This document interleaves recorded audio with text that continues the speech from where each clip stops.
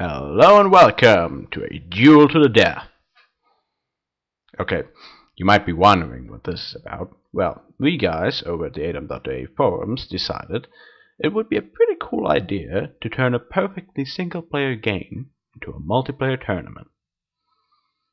That sounds pretty retarded, but we've done stuff like that before, and it's always turned out pretty awesome, so I'm hopeful that this is going to turn out just as awesome provided I don't die within the next first hundred turns or something. So that's always a caveat. But should I not die, then the tournament is going to play out as follows. It's a six-round KO tournament with 28 players. Each players are faced off against each others in pairs, hence the name Duel to the Death. And the goal is to live longer than the other player. Live longer at what is the question? Well, as you can see right now, already on the map, I'm standing at the entrance of the Infinite Dungeon. I'm going to enter the Infinite Dungeon. I'm going to play a thousand turns in the Infinite Dungeon. Within these thousand turns, I have to descend at least one level. Once the thousand turns are over, and I have not died, I'm going to turn over the character to my opponent, the dreadful Vogon Poet, and see if he dies within the thousand turns that come after. If he does, I'm happy. If he doesn't, then I'm going to play again and again until one of us croaks and the other is jumping around with glee. Basically, that's how it is.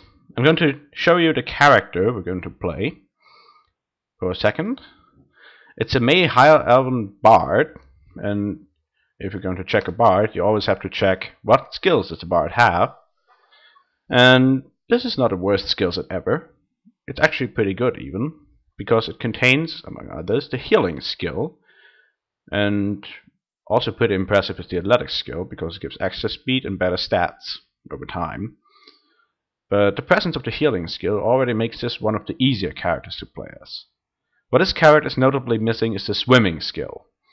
Now the Infinite Dungeon doesn't have a lot of things other than monsters and more monsters and the odd item. But what it can have is rivers. So if I'm going if I'm gonna see a river if I'm seeing a river well if a river if a river happens then I'm not going to be able to swim across it. This is something to keep in mind.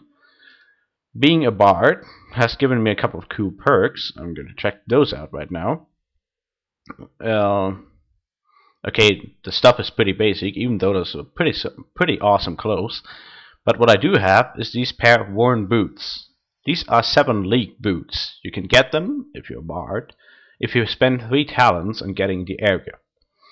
These are going to be pretty important during the challenge. I'm seeing right now that my tinderbox is only two charges, so even though I have four torches, I'll only be able to light two of them. That's not too good. But I guess I'm going to have to live with that, don't I? Now, I'm actually not allowed to do anything else but enter the dungeon right away. So that's what I'm going to do. Oh no, it's a monster already, what am I going to do? Uh, just kidding, that's my pet. I'm a bard, so I have a pet. This one is a Kushu. I have no idea what a Kushu is, but it's my pet, apparently. And the first thing you do with pets is you name them. Well, if you care about them, but... Or if you don't care about them, you can just give them an idiotic name like... Uh, Dunce. Yeah, good name. So... Dude, it's already getting pretty tense. As you can see, this is turn one of the thousand turns I have to play through here. Now that doesn't sound seem like a lot, but uh, it's going to rise pretty high. And I already got my first piece of equipment. It's a hooded cloak that improves my armor. It's pretty awesome. And I remember that I'm going to have to switch on my boots. Oh, God. Hey. Those are some pretty awesome 7 league boots I have here. Oh, it's already going well. I found my first item of food. And... Dunce, you lazy fucker, come here. Ah, oh, damn it seven league boots. They make you run faster than everything else in the game. But that includes your pets, so they're always going to tell lag behind. Hmm, another thing I could do when I'm playing while I'm playing a bard is equip an instrument. Now I can tame animals, hopefully, eventually, before they kill me.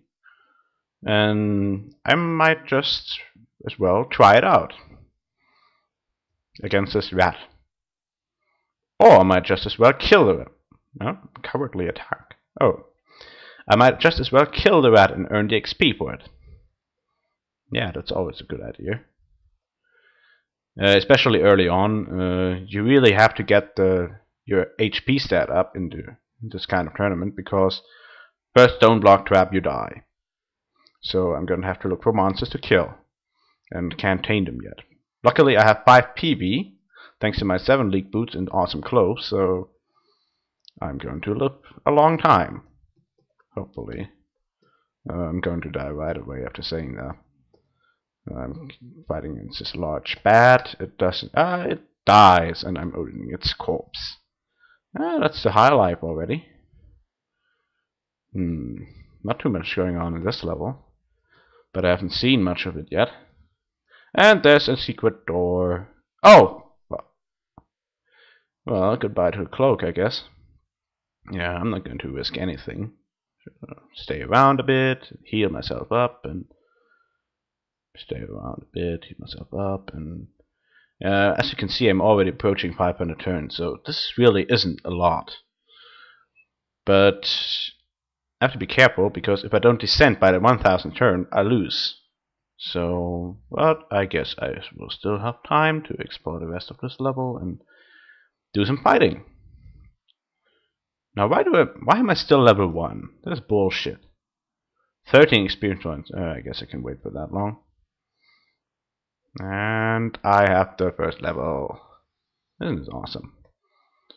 I'm going to raise my healing skill, give a couple of points into athletics, raise healing again. Healing is really important in this challenge, and increase archery. I don't know. Dodge, dodge is a good idea. Yeah, and kill another dreadful undead creature, and pick up a melon. Melon. Yeah, I'm male, so I don't have any melons yet. Haven't had until this point. And that was about the worst joke ever made. Where are the monsters? I need something to diffuse this awkward silence with. Oh, this is boring. I'm going to wait for my pet. Come here, you lazy bastard. Lazy asshole. Did I mention that I don't really like playing bards because the pets annoy me to no end? Yeah, I did mention that now, didn't I? Well, still 300 turns left. I'm going to descend right away. And yeah, check out the next level. Caverns seem to be endless. That's the default message in the Infinite Dungeon. And if you've paid attention to the rules, I can't go up anymore, and my opponent can't either. But luckily, I don't have to go down anymore too, so that's a good thing. Kobold to kill. A giant centipede. 40 experience points left to level 2. Gold. Now, I was... I almost picked that pile of gold up, but the fact is, uh, in the Infinite Dungeon, you won't ever see a shop, so the gold is pretty much useless. And, oh, fuck. The sh oh, man. Now it's getting a bit close. I'm almost dead and I have to going to have to heal. But luckily I can outrun any monsters, so I can just outrun them, heal, send Dunce to fight monsters, and yeah, good job Dunce. And wait until my HP is back to max. And oh, fuck it. Yeah, I accidentally overplayed a couple of turns by re-5ing. That is very much against the rules. I just hope, well, this shouldn't be too bad because I already descended a level, and basically each turn you overplay gets deducted from the turns your opponent has to play the next round. So this shouldn't be too bad, but um, I guess I have to leave that to the judgment of the tournament master. So that was it. This was the first round of the duel to the death of Silfir versus Vogon Poet. And hopefully I'm going to see you again in the next round of this particular match.